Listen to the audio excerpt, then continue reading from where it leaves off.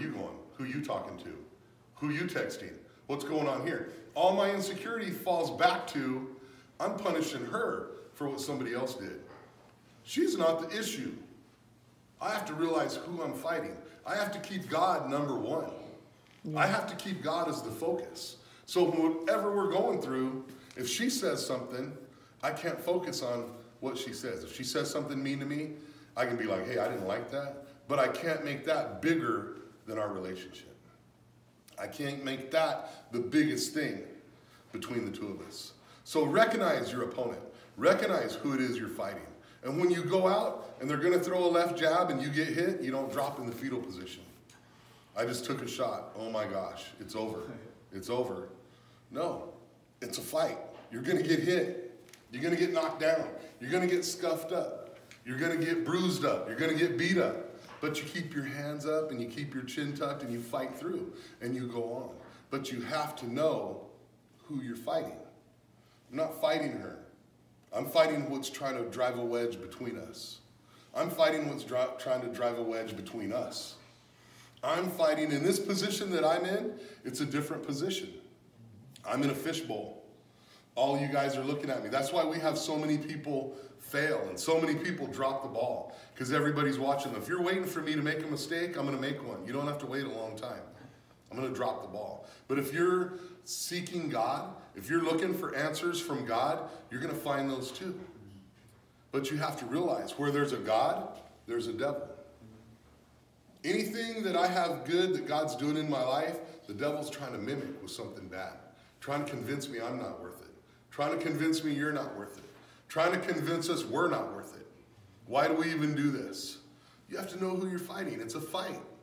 It is a fight. You have to, you have to go into it. There is nothing they can do to stop me. No nothing. There is nothing they can do to hurt me. They can't. And as soon as we allow ourselves not to be hurt, it is incredible what you can accomplish. Because I spent a lot of years addicted to drugs and alcohol. I spent a lot of years addicted to that lifestyle. So many times it wasn't the actual quitting the drugs and the alcohol, it was quitting the lifestyle. I liked the lifestyle. It was exciting when he was talking about those windy roads and loop-de-doos and oh man, I had stories from, from every day every weekend. It was just this lifestyle of, I honestly had the mindset, so if I die tomorrow, so what? I've lived a full life. I've done a lot of wild and crazy things. So what if I die tomorrow? And what a lie. What a lie that was. Because if I would have died tomorrow, I never would have experienced being a dad. I never would have experienced the love of God in my life. I never would have experienced what life is really about. And so, with all this, I have to realize who I'm fighting. I can't go through my life. If I get in an argument with someone, that's not the big picture. The big picture is, is who hates me, who wants to destroy me. So many of us focus on this right here. This is all we see. Whatever it is right in front of us, whatever we can touch, whatever we can feel, that's, that's all we can grasp. Mentally, that's all we can pick up. When in reality, you have to see, no, you know what? This is the devil hates me. He hates what I stand for. He hates what I do. He hates my family. You know, and you even go back to the story of the prodigal son. There was a father that absolutely loved his son, loved him with his whole heart, not half of his heart. His son wanted to go out and do his thing. And I'm just going to summarize this. This is kind of out of, it'll be, it'll be there, but it'll have a little, little bit of Jeffalonians on it too. so you'll have to look up the Jeffalonians later, okay? But his son wanted his inheritance and he goes out. And so, if you've heard the story, he, he goes out, he gets his money, he gets his thing, he, and he hits the road. Now, in that story, it doesn't say the dad followed his son from town to town, begging him to come home. It doesn't say he followed him from party to party, saying, Come back home. I love you so much. What do you need? And see, in our society today, when we have a loved one that's, that's messed up or strung out, I've seen moms going into the drug houses. I've seen moms going into neighborhoods they should never be in. I've seen moms chasing and begging and pleading for you come home, just come home. This dad never went out and chased his son, never begged and pleaded. He prayed for him, And when he saw him coming down the road, when his son hit his rock bottom, he was right there with arms wide open. And sometimes in our life, that's where we need to be, is right there with our arms wide open. I'm not going to chase you, but I'm here for you. I'm not going to run after you, but I'm here for you. And so that's that's where we, we miss it sometimes. We spend all of our time, our addiction becomes chasing them. Our addiction is as much the lifestyle as it is the drugs and alcohol. Our addiction is everything that's going on. Or we love them so much, you hear the expression of we love them to death. And that happens because they never can hit rock bottom. When they're right there. When, when mom is running Junior to the drug house to get drugs because she's afraid for their safety and everything that's going to go on, where is his rock bottom? Where is his rock bottom at? He doesn't have one. He doesn't have a rock bottom to come from because you're always you're always cushioning the fall. You're always, you have to realize the big picture. i am going to have to let him fall down. When you're a baby and you're a toddler and you're doing your thing and, and you're crawling and all of a sudden you start taking steps, you're going to fall. You're going to fall. You can't go put a, put a bicycle helmet and shoulder pads on your kid and protect them every second of every day. They're going to bite it. They're going to hit the table. They're going to hit the sidewalk. But you know what? That's how they learn to get up. That's how they learn. If I'm sitting there watching every step and following them and trying to catch them and trying to, they're never going to be able to walk on their own. They're never going to be able to run on their own because I'm trying to protect every little thing they do. I can't do that. God didn't design us like that. So we have to stop that. You're going to have to take your bumps and your bruises. I have a daughter in Denver and a son in Vegas, and I love them and I pray for them daily. And you know what? They're living their life. My job was to bring them to a place and present God and the world and living and life to them. Now their decisions are theirs, but it's been put on their plate. They live their life. I don't have a say in how they live their life. I just hope that I poured good things into them until they went and started their life.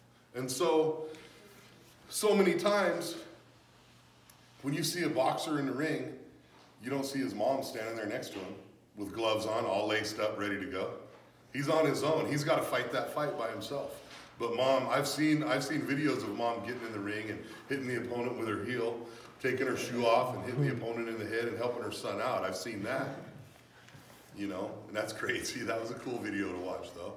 But the reality is you're not going to get the win. You didn't fight the fight by yourself. You didn't fight it on your own. You have to know who your opponent is. You have to know who you're fighting and you have to be prepared. When we go in the gym and we start doing rounds of a left jab, and we're working our jab, we work it. Then we start the two, and we're working, and we're working our fundamentals and our basics. That's our basics for boxing. When you come in here and you start working your fundamentals, it's prayer. It's getting on your knees and praying. It's being in your word. It's studying. You become familiar with this lifestyle. You become familiar with Jesus in your life you become familiar with what he expects from you. As, as boxers and fighters for me, they know what I expect as a coach. You have to know what God expects from you. You have to know what your boundaries are. You have to, we don't just do what we want to do and say we're doing it in the name of Jesus. We don't just go do what we want to do. There's actually a story of some guys that were going to go cast out some demons of, that they knew about. And, and the demon possessed man told him, Yeah, them I know, and Jesus I know, but you, I don't know. And he put a whooping on them because they didn't have the authority. They didn't have what they didn't have that training. They didn't have what it took. Mm-hmm. They had a form of it, and, and they took a beating because of it. Okay, so you have to be equipped. You have to be ready. You have to have the mindset. Anything. If I'm teaching a six-year-old kid to tell themselves, nothing can stop me. Nothing is going to stop me. They can't hurt me. Then I need to tell you as Christians to make up your mind. Nothing is going to stop me. I don't care what the doctor says. I don't care what the bank says. I don't care what, what the boss says. I don't care. Nothing is going to stop me. You can't stop me. You can't. But yet, we're in a situation and our loved one decides to leave and, and get a sports car and they're having a midlife crisis and so they're getting a you know a younger girlfriend or a younger boyfriend in a sports car and they're gone and we want to go jump off of a bridge we want to end it well you're giving them the power over your life You just gave them the power if you want to live or die. You just gave them the power if you want to be successful or not. You just gave them every ounce of power that you had in your life. You handed over to somebody else because they didn't want to be with you. Give me a break. We have to fight through that. We have to think, you know what? They can't stop me. They can't stop me. They can run off with whoever they want. They can drive off in whatever they want. They can't stop me because greater is he that's in me than he that's in the world. Amen. Greater is the power in me than he that's trying to stop me. So I'm going to fight. I'm going to fight like that third monkey. I'm going to fight. There is no way you're stopping me. I'm going to scratch, claw, whatever I got to do, but, but I'm going to fight. That's the attitude we need to have. That's the attitude we need to have as followers of Christ. Because we walk out of here during the week and, and it gets a long week sometimes. It is a long week. You go out and it's like, oh my gosh, I've been beat up since Sunday afternoon all the way until the next Sunday morning. I took a beating every day. You know what? There's guys that come in the gym, they haven't been in in quite a while, and they take a beating when they get in and start training again. Their timing's off, they haven't been working their fundamentals, they haven't been working their basics, but just a short time, short time of doing the drills, going through the motions, and all of a sudden their timing's on, they're looking smooth, they're moving fast, everything's clicking, everything's firing on all cylinders. Same concept. Be in your word. Have a prayer life. Spend time with Jesus. Spend time wanting to know what he wants in your life. And, and get mentally tough. Amen. Get mentally tough of, you can't stop me. You can't stop me. No matter what happens. I'm watching the flames bust through the roof of our old building. And I'm watching it burn to the ground. And I'm standing there and it's on fire and flames are jumping out. And I'm looking at it and I'm like, all right, God, where are we going now? Because you're, you know, you're in this. So I don't know what your plan is, but I love you. And I'll never forget standing in that parking lot saying, well, I don't know what you're doing, but I love you. Because never for a moment did I doubt that he had me. Never for a moment did I doubt that I was where I was supposed to be. Never. God is God. He loves me. My reaction in the middle of my storm is going to dictate my outcome for the rest of it. Come on. I can lay down and kick rocks and cry and whine and snivel and, and, and make a mess in the gravel and just, just do all kinds of stuff. Throw a good old fashioned fit. It doesn't, what's that going to do? Besides that, the place is still burning down and I'm throwing a fit. And it's just like, God, I trust you. I trust you. No matter what is going on, I trust you. They can't stop me. They can't stop me. And I always, I love going to Paul. I love bringing it up about Paul because here he was in prison and then they're moving him and then they've got him on a ship. Well, then the ship sinks. The ship goes down. Now he's a castaway. He's dog paddling to the shore. Then he gets on the shore. Then he's building a fire to keep warm just to survive. Building a fire and he's throwing wood on the fire and he picks up a stick and it's a poisonous snake that bites him. If anybody had a chance to kick rocks and say, hey, why me? Why is this going on? He could have. But you know what? He knew who his father was. He knew who his strength was. It didn't even slow him down. He just kept going because he knew Jesus had him.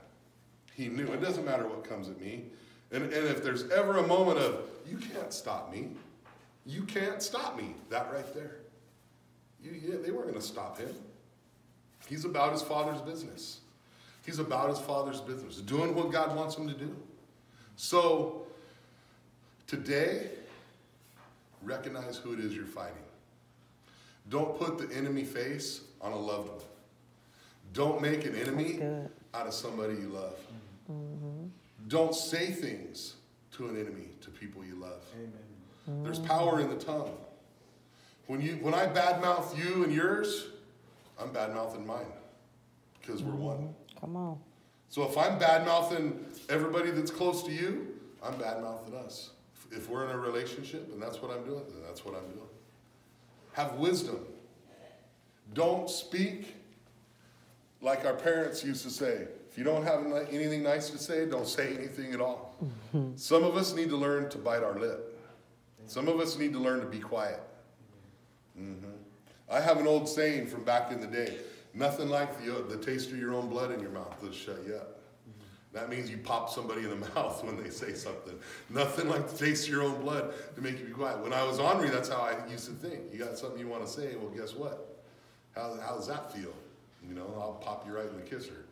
And so it's one of those to where it's, it's, that wasn't the right way, but it was a mindset of that was just brutally honest. That was just brutally real. You have to be careful what you say to some people because they aren't going to like it. They may not take it. Our society now is, oh, I'm going to vent, I'm going to say this, and I'm going to do that, and oh, they're, they're going to hear from me. You know what?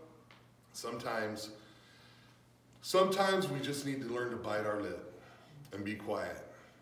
I, we used to joke around when when we were logging and it was always a rough crew. And now and then you know we were always setting chokers and it's really rough terrain and we would have young guys working with us and you're always pushing them and trying to make people tough you know and and trying to help them take it to that next level. And life is is is a journey of that. People trying to help us get to the next level. Sometimes it doesn't seem like it. Sometimes people are trying to stop us. But i can remember we would there was this one kid that would talk. From the time we got in the truck in the morning till the time we got out of the truck at night, all day long he would talk. All day. He would just, you know, whatever he was talking about, he just talked. And, and people could be listening, they could be answering or not. And finally, I'm just like, man, I have never met anybody that can talk all day and never say anything. You have not, you have not said one thing. You've talked all day long and you've never said anything. And we laughed about it and we joked about it and he got a kick out of it. But don't be somebody that talks all day and never says anything. Say what you mean and mean what you say. But don't just talk to talk. Because here's what happens. If I'm trying to share the love of Jesus with you, and you're used to hearing me like Charlie Brown's teacher, just talking, wah, wah, wah, wah, wah, wah, wah.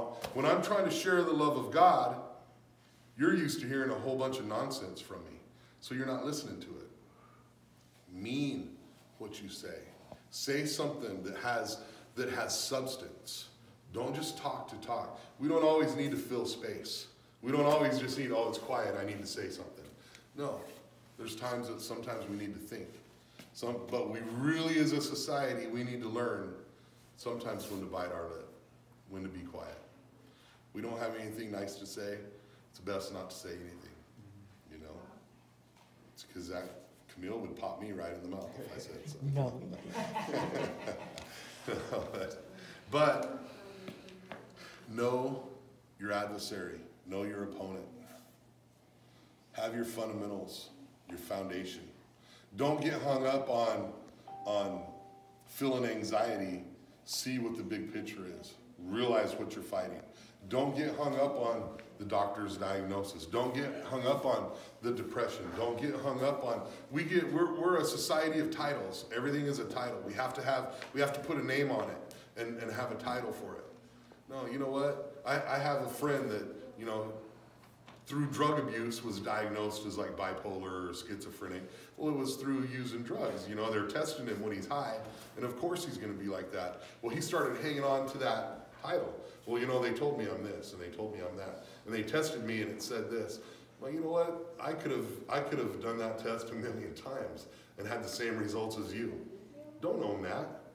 Don't grab onto that because they're telling you that. You're going you're going into something altered high and you're getting tested and you've been high, you've lived a lifestyle for years, of course they're going to tell you you're off. You've been off. We've been living that way. And so I just told him, I said, look, man, I don't care about that. You're no more that than I am. You were when you were using, but you're not using anymore. Don't own that. Don't buy, don't let them put a label on you to tell you you're this. Mm-hmm. Don't let them put a label on you to tell you you're that. You're that. Because all that label is is just another weight. Just another weight to set you down. Just another weight to hold you back. You need to tell yourself, they can't stop me. I don't care if this is the diagnosis I've got. They can't stop me. They're not stopping me. I'm going to fight. I'm going to fight. Anybody else got anything to go with that? Fundamentals, basics, mindset is huge. Your mindset is just as important as a good jab. Your mindset is just as important as footwork. You have to know they can't hurt me. They can't stop me. There is nothing they can do. All right.